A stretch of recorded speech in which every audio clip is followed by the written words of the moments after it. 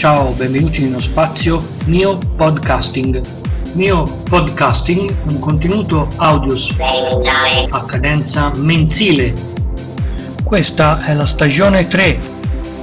In questo spazio audio vi racconterò le bloggate che hanno avuto più successo nei miei blog. Fate riferimento quindi a Mio Radar, Mia Fantascienza e Paleo Contatto Ciao, benvenuti ad un altro episodio di Mio Podcasting. In questa puntata andremo a parlare della uh, seconda parte dell'episodio precedente, che era troppo lungo e quindi l'ho dovuto dividere in due podcast. Nella puntata precedente abbiamo parlato di Amazing Stories e di Fate. In questa seconda uh, parte andremo a parlare invece di Other Worlds of Science Fiction in questa seconda parte del podcast invece andremo a ragionare di Other Worlds. Other Worlds Science Fiction, Universe Science Fiction, Flying Saucer from the Other Worlds furono tre riviste dell'editore Raymond A. Palmer. Other Worlds fu lanciata nel novembre del 1949 dalla Palmer's Clark Publication e rimase in stampa per quattro anni sino al 1953. Poi, praticamente dal 53 al 55, Palm divenne socio di un uomo d'affari di Chicago per creare la Bell Publication e stampò dal giugno del 53 Universe Science Fiction. Poi Palmer lanciò una seconda rivista Science Stories per sottrarsi alle difficoltà finanziarie della Clark Publication. Nel 1955 Palmer perse interesse nella rivista Science Stories quanto in Universe Science Fiction fondò un'altra società, comprò il brand Other Worlds in modo che la sua nuova rivista, nominata nello stesso modo, fosse la naturale continuazione della precedente, che però era prima relativa ad un'altra gestione. Nel 1957 Palmer cambiò totalmente la linea editoriale a Other Worlds, trasformandola in Flying Saucer from Other Worlds una rivista d'ufologia e non di fantascienza. La testata sopravvisse sino a giugno del 1976 con il nome Mysteries of the Space Says. Le difficoltà finanziarie delle testate e i cambi del, dei editori di proprietà dimostrano che i magazine furono di influenza minoritaria rispetto alle storiche pulp mags come Amazing Stories Words of Science Fiction di Hugo Gersbach poi gestite dalla Ziff Davis Publishing, mentre If era sempre e rimase di proprietà della Queen Publishing. Tuttavia, essendo stata Flying Saucer from Other Worlds una delle prime riviste tematiche sull'ufologia, questa lunga bloggata si provvederà a dare un'occhiata paleofologica alle tre riviste per valutare se nel passato, nella sua mutata linea editoriale, vi possono essere tracce d'anomalie storiche o rappresentazioni genuine di tecnologia aliena, oppure se le tre riviste subirono solo banalmente l'influenza dominante della storica Wonder Stories, Amazing Stories e If Worlds of Science Fiction ed Astounding Stories. Other Worlds of Science Fiction dal 1951 al 1953. Le riviste stampate dalla Clark Publishing, il magazine appare come un clone di Amazing Stories del 1950, sia per contenuti quanto per copertine e retrocopertine, per disegni interni ad apertura dei racconti. Le favole di fantascienza pubblicati da Other Worlds of Science Fiction sono in ridotta misura remake e remix di narrazioni già pubblicate da Amazing Stories, anche se nella stragrande maggioranza ci sono tanti racconti inediti. Allora, la prima rappresentazione utile di un disco volante fu del 1951 ad apertura del racconto The Fall of Lemuria di R.S. Shaver con un'iconografia di un disco volante identica a quanto già rappresentato in Amazing Stories del luglio del 1943. Nel 1950, in marzo, in Other Worlds svettò in copertina un oggetto quasi identico a quanto era già stato pubblicato in Amazing Stories in febbraio del 1948. Nel 1951, in giugno, Other Worlds of Science Fiction, pagina 78, propone ad illustrazione del racconto di Mr. Yellow Jacket di Ray Palmer illustrazione fatta per mano dal disegnatore A.G. McCulley in cui disegnò un UFO a forma di lampadario a gas, il classico UFO in stile Adamski. Nel 1951 di ottobre il magazine Other Worlds of Science Fiction pubblicò la novella in due episodi intitolata I Flew in a Flame Saucer del capitano AVG, ossia l'autore era Ray Palmer. Il racconto di fantascienza aveva ambientazione ufologica contemporanea al 1950 e si può considerare il preludio della svolta editoriale del 1957, quando la rivista mutò in Flying Saucer from Other Worlds. Il disegno a corredo del racconto appare in bianco e nero, di bassa qualità, assai approssimativo ma coerente con un Avrocard con tanto di elica intubata.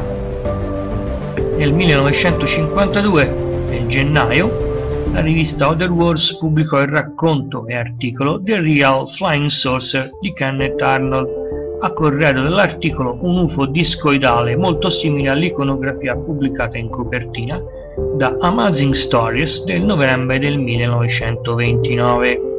Anche in questo caso la rivista di fantascienza iniziò quindi la rivista di fantascienza Other Worlds, Science Fiction, iniziò a contaminarsi con l'ufologia, anche se a quel tempo, nel 1952, la maggioranza dei contenuti di Other Worlds era ancora composta da fantascienza classica. Nel 1952, in giugno, il magazine Other Worlds mise in prima pagina una piramide egizia nello spazio a supporto di un non ben identificato racconto di fantascienza interno.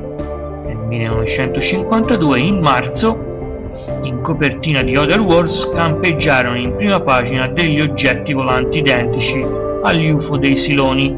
Tali oggetti popoleranno la serie hollywoodiana del Galattica del 1970.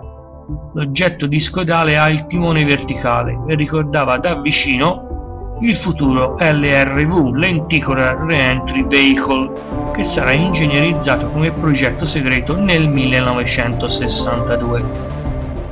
E poi presente nel magazine anche la raffigurazione di un velivolo di scodali ad elica intubata, identico ad un Moller del 1980. Il magazine nel periodo storico analizzato si valuta che non presenti anomalie significative in Universe Science Fiction del dal 1953 al 55 la rivista fu stampata dalla Bell Publication e era sostanzialmente un magazine di fantascienza, al cui interno spiccavano illustrazioni a corredo dei racconti in formato bicolore, mentre su Amazing Story ancora dominava il bianco e nero. Tuttavia non sono presenti le retrocopertine. Molto rapidamente però in Universe Science Fiction tra il 53 e il 55 sparirono completamente la bicromaticità delle immagini per dominare poi il bianco e il nero. Nelle 10 riviste analizzate la prima raffigurazione utile di un oggetto discoidale appare in settembre del 53 in Universe Science Fiction con un'immagine bicromatica del profilo frontale di un Voigt V173, privo però del carrello fisso per l'atterraggio. Nel gennaio del 1955 il magazine Universe Science Fiction propose un, una copertina in bianco e nero, segno evidente dei gravi problemi finanziari del magazine, con Babbo Natale che era a bordo di un UFO discoidale, il cui shape però era identico a quello che era proposto, che era stato proposto in copertina uh, dal libro del maggiore Keihoe pubblicato nel 1950 il magazine nel periodo storico analizzato dal 53 al 55 in Universe Science Fiction non, presenza, non presenta anomalie significative. Giungiamo quindi nel cambio di, eh, di, linea editoriale da Other Worlds a Flying Saucer from Other Worlds dal 57 al 64. I primi numeri del magazine del 1957 a gestione Palmer erano bimestrali, posizionavano la rivista Other Worlds of Science Fiction in un clone di Amazing Stories. Poco tempo, la prima pagina di copertina riprese ad essere colorata e non più monocromatica. Tornarono anche le retrocopertine colorate, tuttavia scomparvero per vari numeri i disegni in apertura e o in corredo dei racconti di fantascienza. I disegni della rivista poi tornarono in bianco e nero nel numero di novembre del 55 con rappresentazioni curate. Prima raffigurazione utile di un disco volante in Words of Science Fiction, la nuova gestione di Ray Palmer, apparve in novembre del 56 a pagina 8 dentro ad un disegno in apertura del racconto Reluctant Eve di Evelyn Martin. L'iconografia del disco volante era molto simile alla copertina di Amazing Stories del novembre del 1929. Quindi in questa fase, nel periodo storia evidenziato, non ci sono alcune, non ci sono proprio anomalie. Into Flying Saucer from Other Worlds dal 57 al 64 la rivista divenne ufologica, mentre eh, solo nel luglio del 57 tornò ad essere temporaneamente una rivista di fantascienza. Poi nei numeri successivi Flying Saucer from Other Worlds dal, del dicembre del 58 il magazine rimase una rivista ufologica. Essendo una rivista ufologica, ovviamente verrà analizzata come tale valutando i contenuti proposti alla luce del debunking sui casi storici ormai noti, quanto delle razionali conoscenze paleufologiche elaborate negli ultimi tempi. Che cosa si può dire circa Flying Saucer? Allora, iconografia delle Flying Saucer, quindi Flying Saucer from Other Worlds, sintesi ufologica dal 1957 al 1961. L'iconografia delle Flying Saucer è presente con gli shape dei Foo Fighters che però scomparvero, emersero preponderante eh, lo shape delle lampade metalliche a gas di Adamski quanto l'iconografia di dischi volanti metallici dotati di alica intubata. Oltre alle alla presenza massiccia di misteriose flying saucer tubolari silenziose. L'iconografia delle navi spaziali. Queste, le navi spaziali aliene, erano tutte rigorosamente a forma di disco volante, mentre le astronavi terrestri dovevano avere per forza lo shape razziforme di derivazione nazi V1-V2. Tecnologia delle Flying Saucer la levitazione magnetica era la spiegazione più gettonata, oppure le eliche intubate, nella versione terrestre del disco volante. Tuttavia, tali velivoli erano capaci di fornire spinte supersoniche al nuovo prototipo, prototipo americano. Questo era quello che si raccontava. La propulsione dei dischi alieni era nucleare, mentre quella dei dischi terrestri era invece convenzionale. Gli alieni non disponevano di droni, non disponevano di teletrasporto, gli alieni atterravano sulla Terra e poi facevano ricognizioni di persona, con tante testimonianze in varie parti del Nord America, che furono pubblicate dalla rivista. Gradualmente le speculazioni astratte degli ufologi fecero migrare la tecnologia aliena in una fantomatica tecnologia fantastica e futuribile, che però ancora non sarebbe migrata in velocità superluminali e o viaggi nel tempo e o motori FTL faster than light con portali nell'iperspazio. La natura del fenomeno delle flying saucer. Il fenomeno era reale e non era isteria di massa. La natura delle flying saucer era ibrida, ossia aliena, e coverappata dall'USAF e dal governo USA per evitare di creare panico nella società umana. L'altra parte del fenomeno delle flying saucer erano causate da uh, velivoli segreti militari made in USAF di nuovissima concezione, quindi erano uh, velivoli terrestri. Insulsi antropologi presso la rivista vantarono scoop giornalistici con comunicazioni radiofacchettate avute con alieni di Marte, mentre poi proliferarono e si diffusero le cazzate tonanti dei dischi volanti a lampada a gas da Adamski. Basi di partenza delle Flying Saucer. Era il pianeta Marte quanto le basi militari USAF, oppure basi aliene sotterranee sulla Terra. Intenzioni dei piloti delle Flying Saucer. I dischi volanti alieni erano velivoli da ricognizione ma ben presto si trasformarono in ricognizioni aliene in forze per scopi ostili, in sostegno ad una possibile e futura invasione aliena della Terra. Questo era quello che andava a raccontare la rivista. Radici del fenomeno delle flying saucer. Alcuni ufologi dissero che gli alieni controllavano l'umanità da millenni, Sumeri, gli Egizi, le antiche civiltà, eccetera. Altri ufologi citarono gli eventi anomali dei libri di Charles Fort per dimostrare che il fenomeno delle flying saucer aveva radici storiche che partivano almeno dal 1800. Si incominciò poi a guardare la Bibbia e dalle narrazioni bibliche come prova di una presenza aliena nel controllare l'umanità. Da qui poi scaturì quello, uh, il libro Chariots of the God, però solo negli anni 70. Fisiologia dei piloti delle Flying Saucer. L'iconografia aliena era quella di sembianze umane nordiche, quanto quella di una fisiologia nana, imberbe e macrocefola, molto simile all'iconografia di H.G. Wells del eh, XIX secolo. Elementi di isteria di massa sono evidenti perché non sono mai citate nella rivista Il Flying Saucer from Other Worlds i velivoli sperimentali a reazione nazisti della seconda guerra mondiale, quanto le V1, missili da crociera, quanto le V2, le protogenesi dei missili intercontinentali. Non ci furono mai cenni a possibili evoluzioni per forme e dimensioni dei dirigibili dello SNAVI in altri veicoli. Sono tuttavia assenti i deliri di rapimenti alieni in massa sulla popolazione terrestre.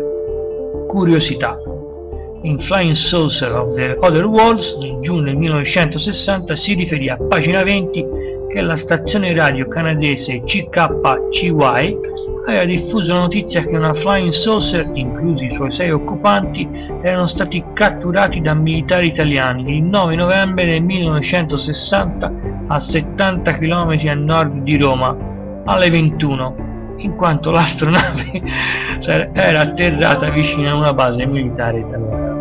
Vabbè, quanti ne raccontavano. Da notare bene però che non è mai citato il termine UFO, Unidentified Flying Object o Unknown Flying Object, ma sempre e soltanto il termine Flying Saucer per indicare gli odierni UFO. Quest'ultimo, il termine UFO, un termine molto forte che non è mai stato scalzato dalle cazzate di sigle successive in OVNI, REI e quant'altro. Allora, giungiamo quindi alle fila finali. Sia per motivi di scommesse editoriali in un mercato editoriale competitivo, sia per la linea editoriale, la rivista Flying Saucer from the Other Worlds ebbe un taglio super complottista ma ancora scevro dai deliri di adduzioni aliene massive ai danni della popolazione della Terra. Le iconografie degli alieni, degli shape UFO genui, quanto delle stime tecnologiche dei mezzi alieni, le basi di partenza delle navi astrali aliene, furono sicuramente cannate dalle riviste ufologiche del tempo a causa della scarsa razionalità e nulla conoscenza degli ufologi del tempo quanto dell'assenza di internet che oggi con pochi clic permette di accedere a tutto lo scibile umano non oggetto di etichetta top secret. È certamente vero che gli alieni studino e monitorano le evoluzioni socio-tecnologiche della Terra, ma non per ragioni militari, bensì di studio scientifico sulla cultura umana. È storicamente corretto la presenza di cover-up alla fine della seconda guerra mondiale gli alleati, americani, inglesi e canadesi, in quanto detentori di una possente forza aerea, si erano accorti nella fenomenologia Foo Fighter riportata dai piloti dell'epoca che questi oggetti non erano mezzi nazi fascio nipponici, quindi dovevano essere mezzi extraterrestri in ricognizione sulla Terra. La nascente USAF varò poi il progetto Sign, Gruge, Blue Book e è accertato quindi il cover-up, imposto per ragioni di sicurezza nazionale sul fenomeno UFO. Infatti la Francia fu lasciata fuori dalla scoperta. Quando però ebbe a accorgersene, fondò il Japan e mantenne per vari decenni una posizione aperta sul fenomeno degli UFO, come velivoli extraterrestri. È storicamente vero poi che il governo americano finanziò nel 1950 il prototipo canadese dell'Avercar come mezzo VTOL perché le industrie americane dell'epoca erano focalizzate sulla velocità supersonica degli aerei e sullo sviluppo degli aerogiri in elicotteri. Anche se non è ancora nota la storia pubblica dell'aviazione, il successo tecnico del velivoli discoidali VTOL, stimabili come performance di quota e velocità probabilmente non troppo diversi dai un P-51 Mustang, i successivi apparati tattici delle flying platform quanto dei velivoli molle a stabilità rilassata dimostrano che in vari hangar NATO è certo che esistano velivoli ad elica intubata a forma di disco volante, con capacità VTOL, però con scarsa autonomia tattica. È tuttavia assente in Flying Saucer from Other Worlds ogni riferimento al progetto Paperclip dell'OSS, quello che poi divenne la CIA, sui progetti tecnologici e scienziati nazisti e tutto eh, fu completamente ignorato dalla rivista gli eventuali sviluppi americani di ricerca applicata sui missili da crociera e balistici.